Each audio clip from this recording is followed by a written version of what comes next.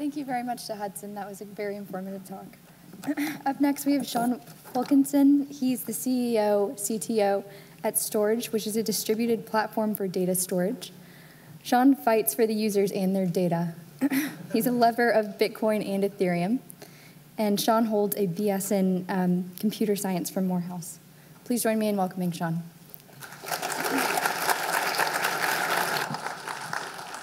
Hello, can you hear me all right? Cool.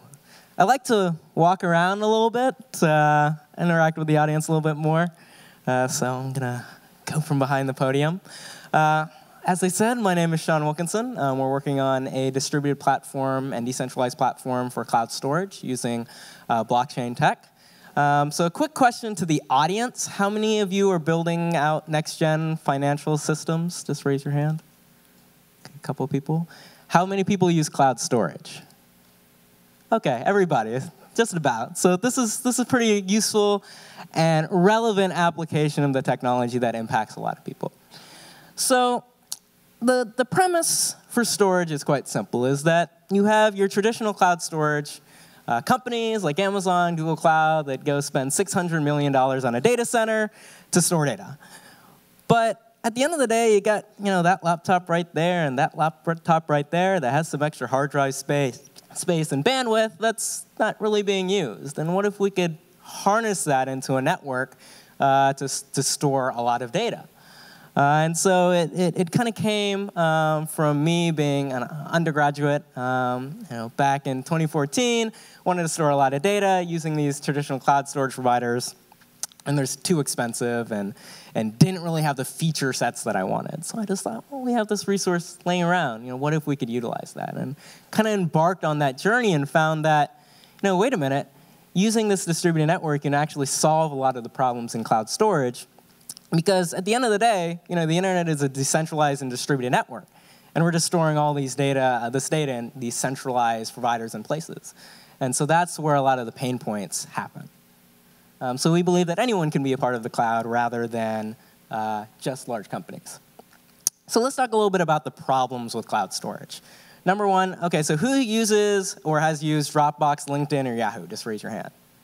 All those providers have been hacked. I can buy your credentials online for five bucks on, on the dark web, right? So that, that's not that great. and it's getting worse and worse and worse every year um, as this model kind of breaks down. Number two, um, these centralized providers sometimes have issues. Uh, actually, what, like two months ago, Amazon S3 went down uh, and took a quarter of the internet with it. You know, a lot of people are dependent on these services, and so when you're running a really big business, that's, that's not good. That's, that's a lot of money lost. Um, number three, performance. Uh, you're bottlenecked by your connection to your local data center. Uh, so if there's issues there, there's slowdown. And number four is cost. People are using more and more and more data, and the cost isn't really dropping that much. In fact, it's pretty much stopped. Um, they've just stopped figuring out ways to scale down that cost. So under storage, which is this magical decentralized and distributed network, and our aim is to solve these, these problems. So number one, um, the data is encrypted client side before it even goes out onto our network, and only the user has the keys.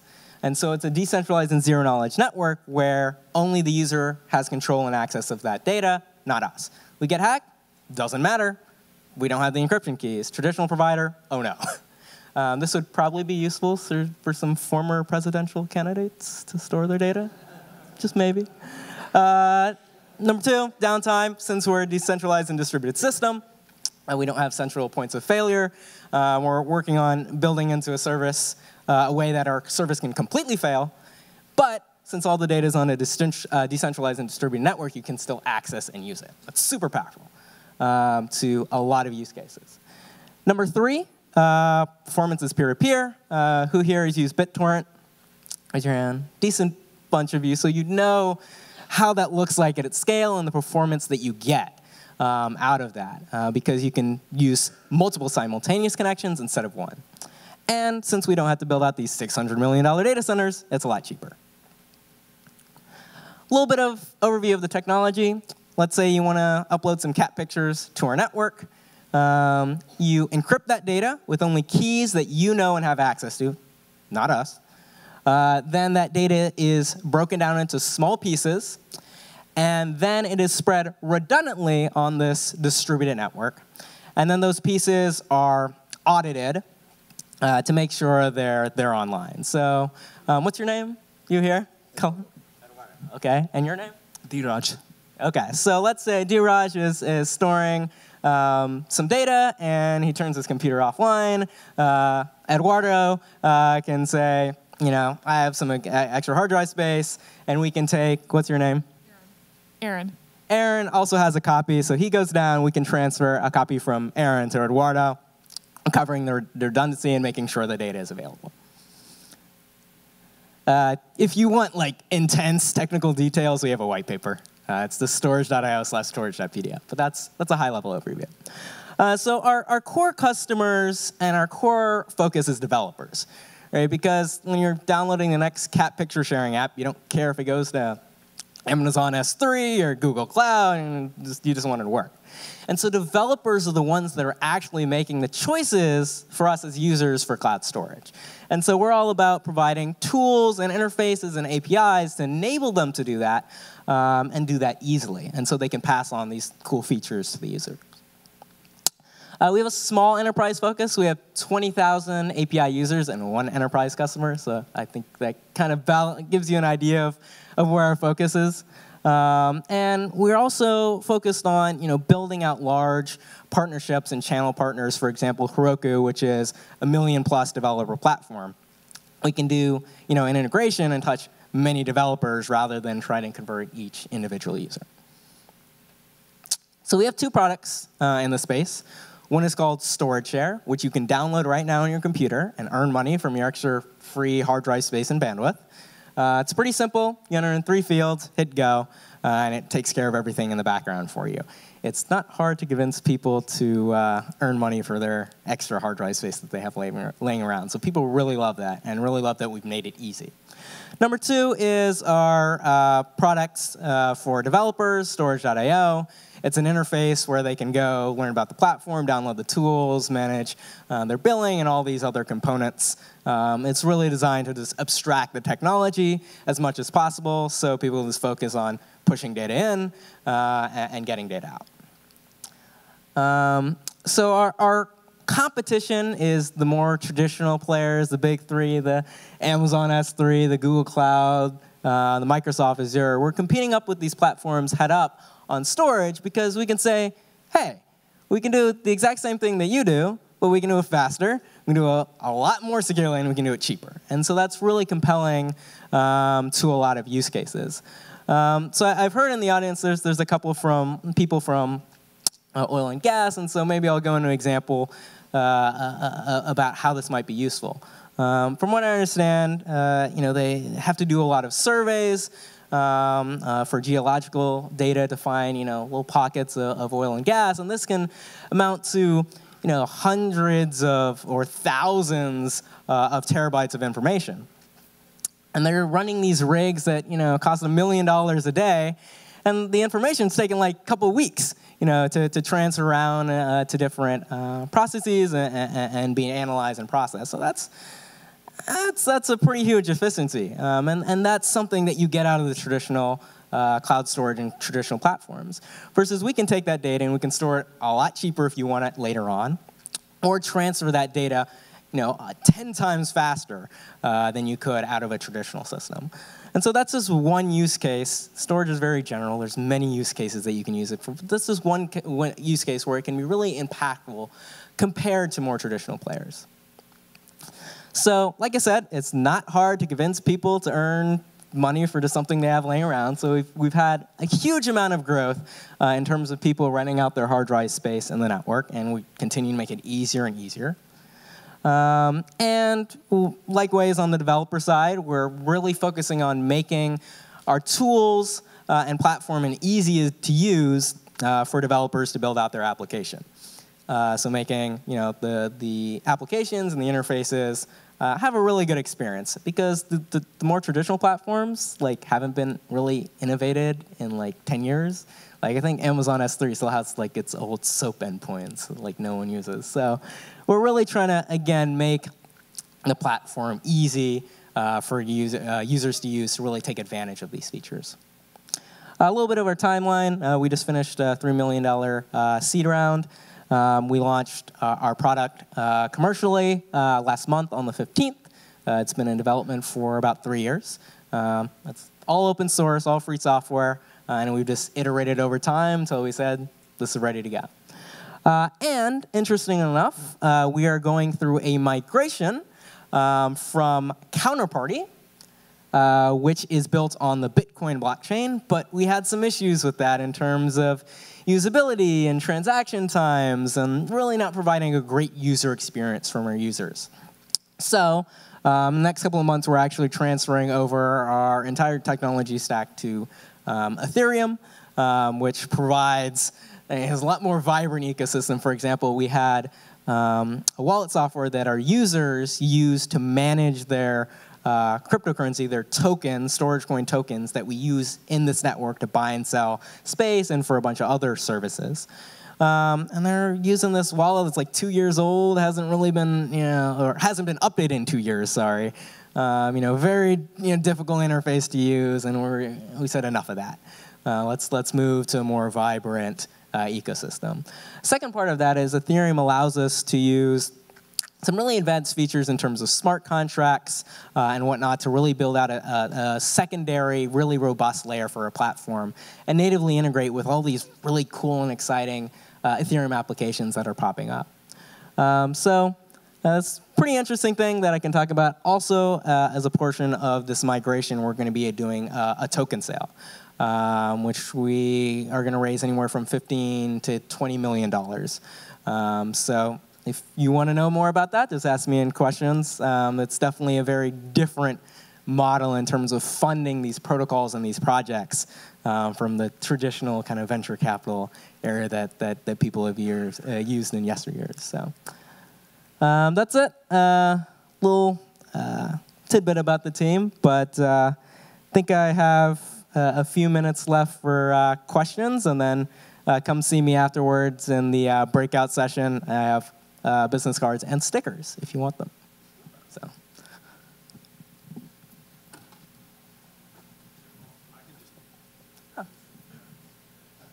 So I just wanted to ask you, um, as I understand, there's a Storj token that exists today. There is already uh, a, a, token crowdfund done, and then a Series A traditional round, and now a subsequent token crowdfund. So how do all of those funding mechanisms kind of work together? So what happens with the original token? Is the subsequent token um, then going to inflate the original token, or or is it a different token and then you do away with the the other token and it's a mini me concept, or and, and how does uh, how do the VC investors uh, factor into this? Yeah, so the the the difference between like uh, you know these new crowdfunding mechanisms and equity is just got people's heads spinning. Like everyone's trying to understand the, these models. Um, so in 2014, we did a crowdfund. Um, we raised a half million dollars.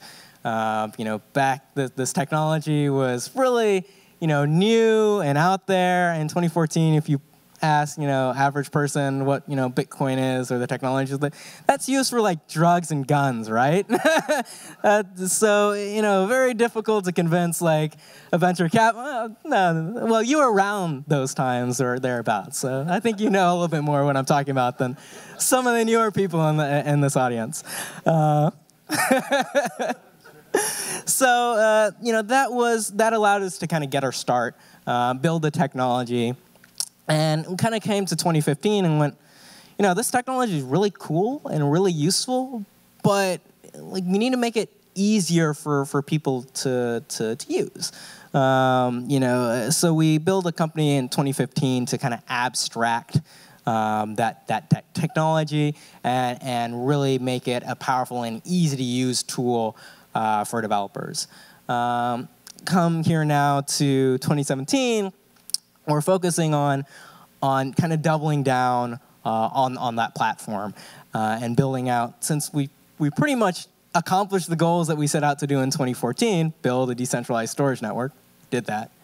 Uh, you know, our, our real uh, focus and push is like you know scaling out the tools that we need to be able to compete with Amazon S3 and Google Cloud and all these large platforms, which like make billions of dollars. So you know even you know with 15, 20 million dollars, that's chump change compared to these large organizations. Um, so building out those tools, but also utilizing all these next gen technologies that uh, exist on Ethereum that we just didn't have um, before. So um, this token sale really allows us to do that and is really a new mechanism that allows us to propel that at an insanely accelerated pace that you just can't do with any traditional model. So, more questions? Very interesting, um, and congratulations on meeting your milestones.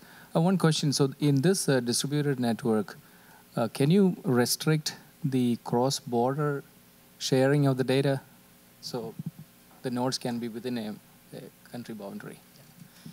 Yeah, so this is actually a really interesting use case that is that is emerging now. Is that you have these countries that are saying, we're gonna pass these, you know, data geolocation laws where your data, you know, inside of Russia can't leave our borders. It needs to be, you know, constrained within our borders. And so, like the, the people who are, are building these traditional services are like scrambling to keep up. Like you, the the amount of data that you know people need to store uh, is just growing exponentially, and they're just scrambling to build you know data centers and traditional infrastructure to keep up.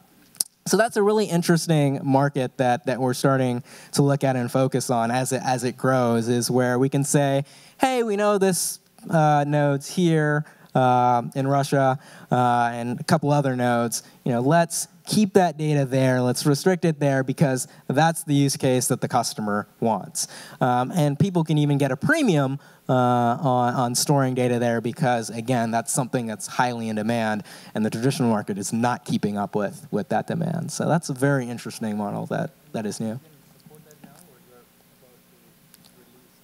So um, his question was, uh, uh, is that something we can support now? So um, that's something that we have the raw data for um, to, to actually determine that, but we don't have essentially a logic system to do that. So it is something that we're looking out to build probably in the next few months um, as there is customer interest for it. Yeah. Questions? How much time do I have? I don't want to. Five minutes? Cool. Hey, Shawn, thanks. My uh, question is, is, is really one of uh, being able to use that stored data for big data and, and mining and research and that kind of thing. How would that work? So our, our, traditional focus right now is in more static content, right? So um, having you know pictures, images, video, raw data that you want to store for long periods of time, or you want to quickly move it from point A to point B. So that that is our focus. Um, so when you want to take this data and, and, you know do large amounts of computation or processing or analytics, that's something that you want to probably still use the you know traditional providers like Amazon S3 for. Um, and there's definitely a lot of projects working on those kinds of solutions, but they're not here yet. Um, so again, our, our core focus is more on static data um, right now uh, and being able to transmit that and store that way better than the traditional providers. Um, but for processing, I'd leave that to the technology that we know and have already right now.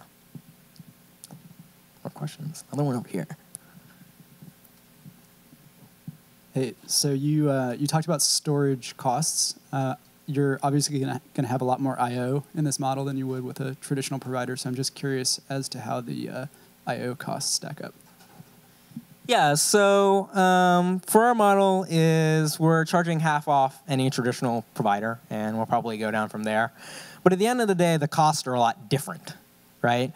While it might be a little bit less efficient on I/O, at the end of the day, we're not building out a $600 million data center to be able to do this. We just have, you know, your laptop over there that's, you know, just maybe doing some word processing or some Twitter, and uh, you know, 99% of its, its its resources are not really being used uh, to their full utilization. utilization.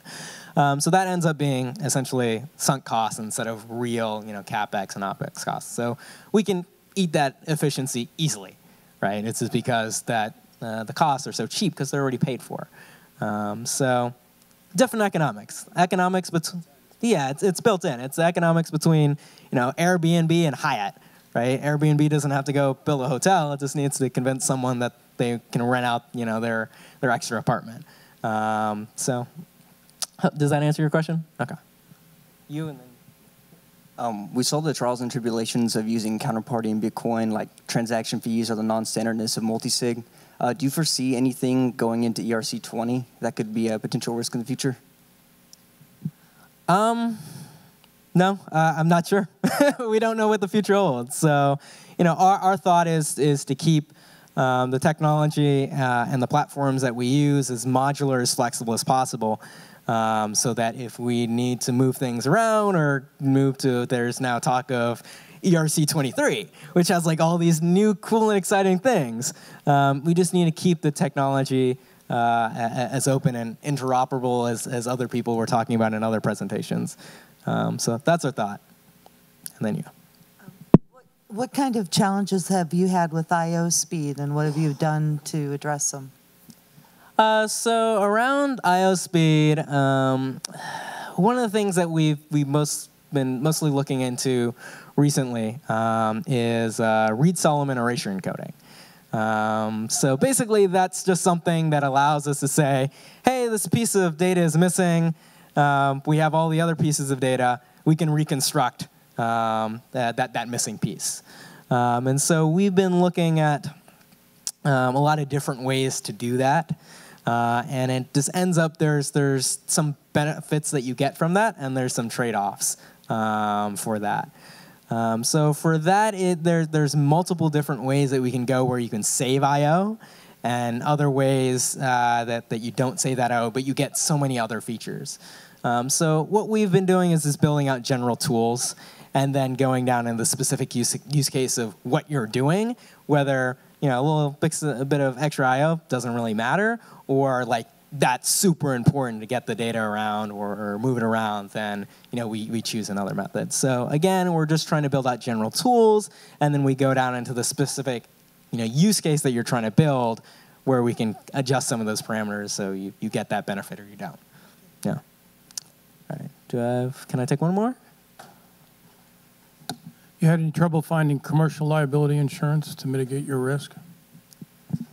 Uh, for that, uh, I think we're actually signing up for that right now.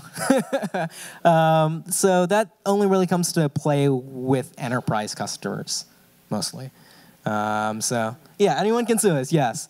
Um, but the, the stakes are a lot higher when it comes to, to enterprise customers. So uh, our model is compared to a lot of other decentralized and blockchain technologies. A little people get it a little bit more. It's it's a little bit more traditional in terms of the top level structure. We're just offering a data service, and and people know how to to um, build insurance models around that. Um, so there is a few new parts that you know. There's there's a lot of you know questions that they'll ask about that, but uh, it, it's it's a model that's a little bit closer to the the traditional model because we're just offering a data service. So. Um, I don't know if that answers your question to satisfaction, but uh, all right, or kind of me. All right, come see me uh, in the breakout room afterwards. Thanks for listening.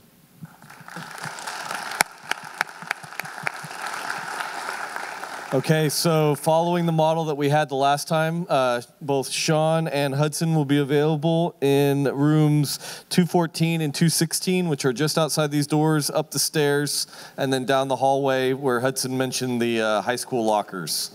Um, I suggest you go because the, the more intimate setting, you, you can ask a lot of great questions of the speakers that maybe you wouldn't ask in, in an auditorium setting. And meet back here uh, for a continuation at 405.